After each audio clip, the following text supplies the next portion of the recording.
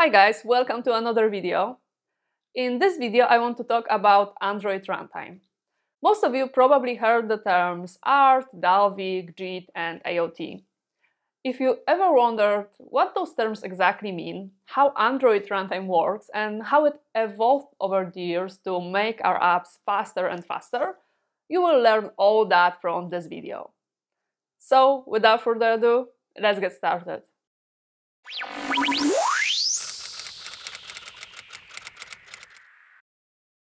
But first, what exactly is Android runtime? When we build our app and generate APK, part of that APK are DEX files. Those files contain the source code of our app, including all libraries that we used. And those files are written using low-level code designed for a software interpreter, the bytecode. When user runs our app, the bytecode written in DEX files is translated by Android runtime into the machine code, a set of instructions that can be directly understood by the machine and is processed by the CPU. Android runtime also manages memory and garbage collection, but to not make this video too long, I will focus only on compilation part. But if you want me to cover also that topic, let me know in the comments. The compilation of the bytecode into machine code can be done using various strategies, and all those strategies have their trade-offs.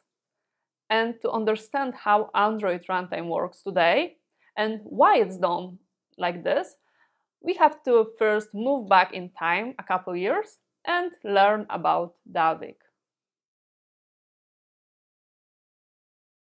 In the early days of Android, phones were not as powerful as they are now.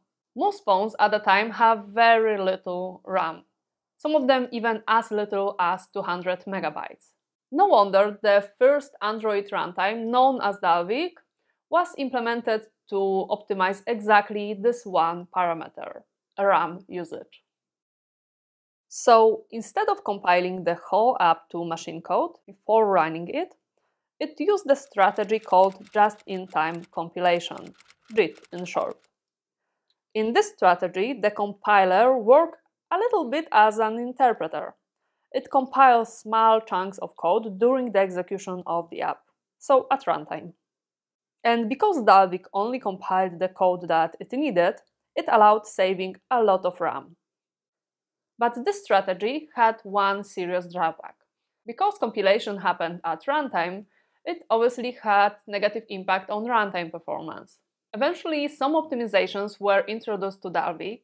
Some of the frequent rerun code was cached to not be recompiled without need, but it was all very limited because of how scarce RAM was in those early days.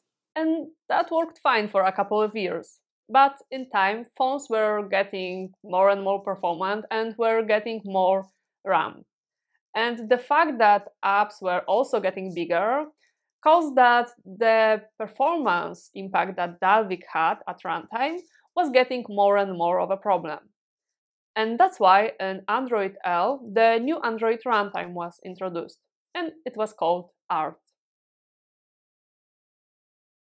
The way ART worked in Android L was a 180 degree shift from what we knew from Dalvik. ART, instead of using just-in-time compilation like it was done in Dalvik, used a strategy called ahead of time compilation, AOT in short. So in ART, instead of interpreting code at runtime, code was compiled before running the app. So when the app was running, machine code was already prepared. This approach hugely improved runtime performance since running the machine code is about 20 times faster than just-in-time compilation. But this approach also has some drawbacks. Art in Android L used a lot more RAM than Dalvik. Another drawback of the AOT is that it took more time to install the app since after downloading the APK, the whole app needed to be transformed to the machine code.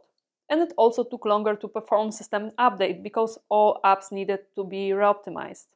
For frequently used methods and classes, it obviously pays off to have it all precompiled. But the reality is that most parts of our apps are very rarely used by our users. So having all APK precompiled almost never pays off. That's why in Android N, just-in-time compilation was introduced back to Android runtime, along with something called profile-guided compilation. Profile-guided compilation is a strategy that allows constantly improving performance of Android apps as they run. By default, the app is compiled using the just-in-time compilation. But when ART detects that some methods are hot, which means that they are run frequently, ART can pre-compile and cache those methods to achieve the best performance. Other parts of the app stay uncompiled until they are actually used. This strategy allows providing the best possible performance for key parts of the app while reducing the RAM usage, since, as it turns out, for most apps only 10 to 20% of code is frequently used. After this change, ART no more impacted the speed of app installs and system updates. Precompilation of key parts of an app happened only while the device was idle and charging to minimize the impact on the device battery. The weak point of this approach is that in order to get the profile data and to precompile frequently used methods and classes, user has to actually use an app. That means that the first few usages of the app can be kind of slow, because just-in-time compilation is used then. That's why to improve this initial user experience, Android team introduced an Android P something new in ART. And that thing was called Profiles in the Cloud. The main idea behind Profiles in the Cloud is that most users use the app in a very similar way. So, in order to improve performance right after installation, we can collect profile data from people who already use this app. This aggregated profile data is used to create a file called a common core profile for the application. So when a new user installs the app, this file is downloaded alongside the application. ART uses it to precompile classes and methods that are frequently run by most of the users. That way, a new user get a better performance right after downloading an app. And it does not mean the old strategy is no longer used. After the user runs an app, ART will gather user-specific profile data and recompile code that is frequently used by this particular user when the device is idle. And the best part of all this is that it all happens behind the scenes in Android runtime. We developers who are making apps don't have to do anything to enable it. Okay, so to very quickly sum up. Android runtime is responsible for compiling bytecode, which is a part of an APK, into device-specific machine code, which can be understood directly by the CPU. The first Android runtime implementation was called Dalvik, which used just-in-time compilation to optimize usage of RAM, which was very scarce at the time. In order to improve performance in Android L, ART was introduced, which used ahead-of-time compilation.